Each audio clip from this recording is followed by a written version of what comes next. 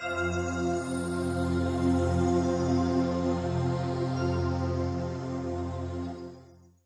to the second session of ratio and proportion.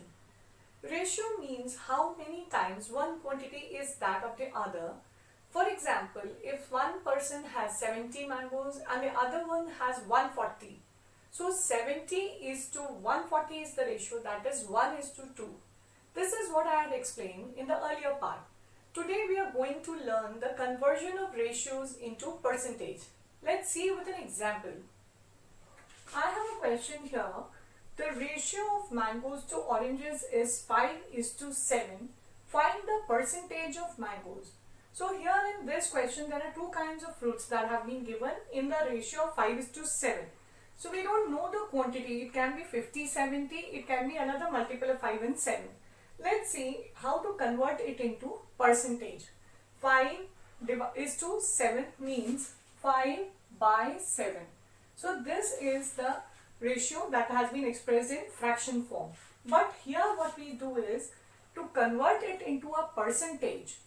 The total is, see the total is 5 plus 7 is 12. Maybe 5x and 7x. If we add them up, we get 12x. So this is 12x here. 5x plus 7x is 12x. And how many mangoes do I have? 5x. 5x is the number of mangoes, 7x is the number of oranges. So what I write here is 5x out of 12x fruits. 5x mangoes out of 12x. I am writing x because it can be any multiple. And here I multiply simply by 100 so that I get the percentage. 5 by 12 into 100. x cancels out. 5 by 12 into 100. These are even numbers.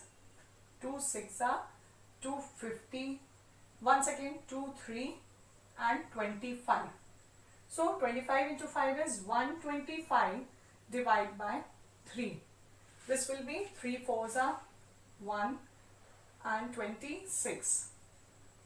41.66 percentage of mangoes is there when the ratio is 5 is to 7. This is how we find out the ratio. I'll explain you once again. When a ratio is given, you don't know the exact number of quantity. So you write 5x, 7x. x is the multiple by which it is getting multiplied. So it won't matter whether the value of x is 1, 2 or 3. It won't matter at all. Then 5x that means the number of mangoes divided by the total number of fruits into 100. And this is how you get the percentage of mangoes. Let's see another example. Here is my second question. The ratio of good players is to average players is 8 is to 7. Find the percentage of both. It's just like the earlier problem where the ratio of mangoes is to oranges was given. Here it is 8 is to 7. Good players is to average players.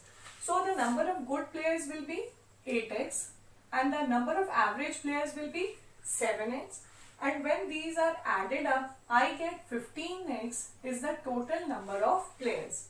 8x good players, 7x average players and when I add them up I get the total number of players. So to find the percentage of good players 8x upon 15x into 100 simply multiply by 100 and then cancel it out. This cancels out. This goes with 5. 5 3s are 5 20s are 20 into 8 is 160 by 3. 3 5s are 15. 10 3 3s are 53.33 is my percentage of good players. This is the percentage of good players. So to find out the uh, percentage of average players, simply subtract 100 minus 53.33 because 100% is always the full percentage minus 53.33 or else you could have done 7x by 15x into 100 and you're getting the same answer.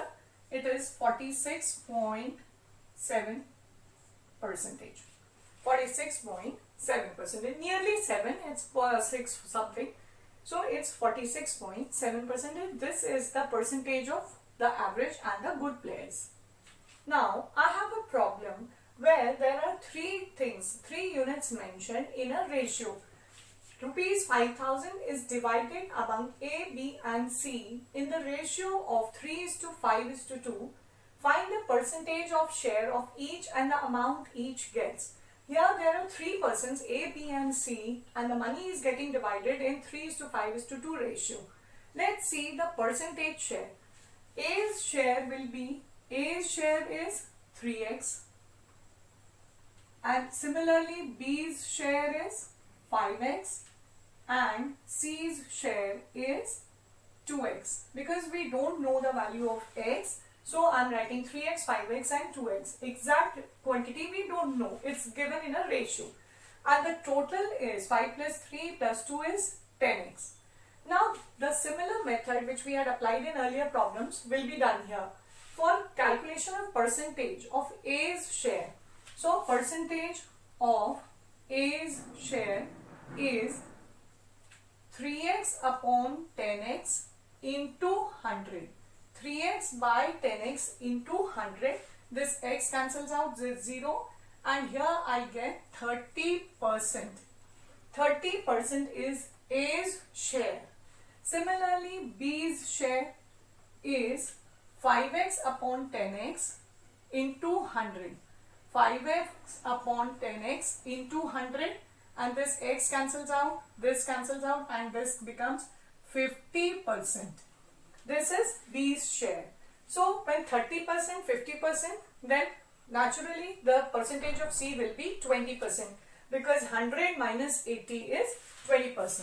So C's share is 20%. I'm writing directly.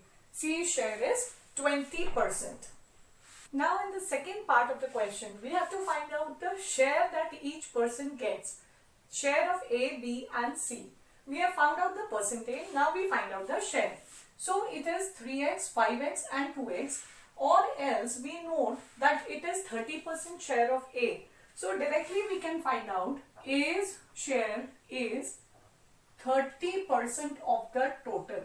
30% of the total amount.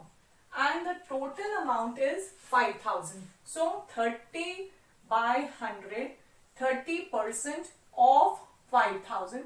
This will be A's share.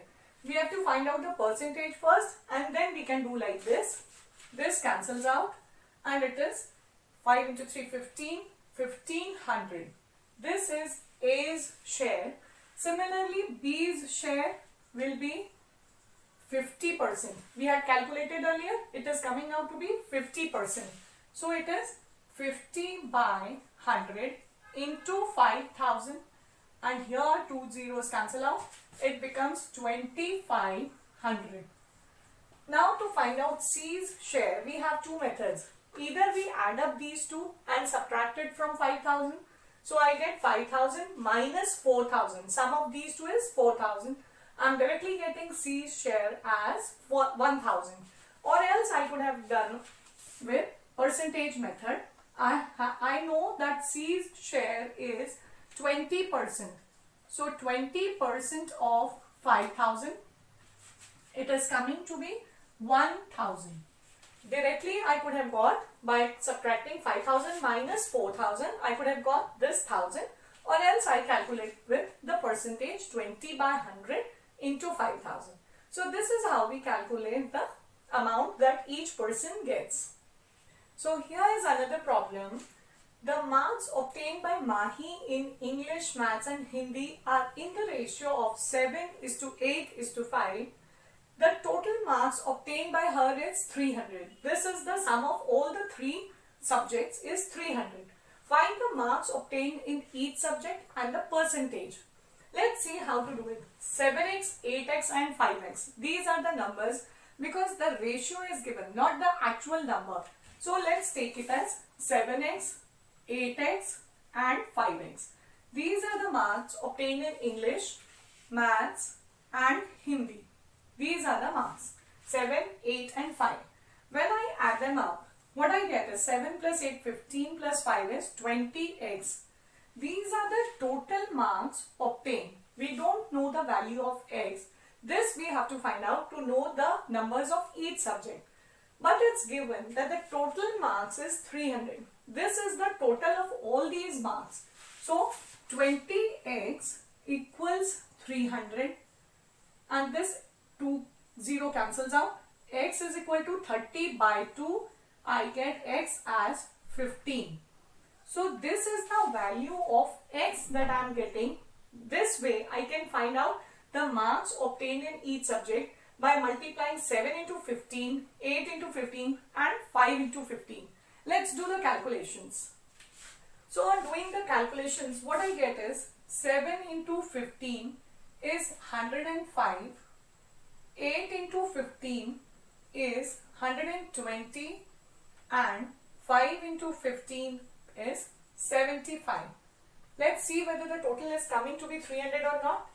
120 plus 105 is 325 plus 75, uh, 225 plus 75. Yes, it's 300. So, these marks are correct. So, these are the marks obtained by Mahi in these subjects, all three subjects.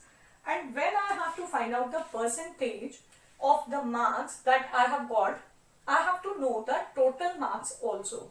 Suppose the total marks are 600. If it is not given in the question, then you have to assume it. I am assuming that the total marks are 600. So, total marks is equal to 600. Percentage obtained. Percentage obtained is calculated by the marks that she has got. 300 divided by 600 into 100.